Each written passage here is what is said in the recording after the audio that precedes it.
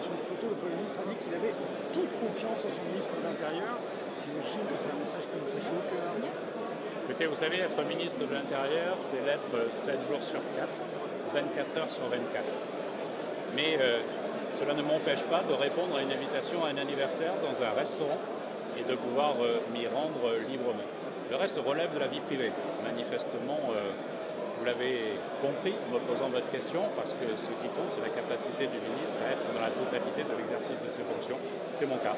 7 jours sur 7, 24 heures sur 24.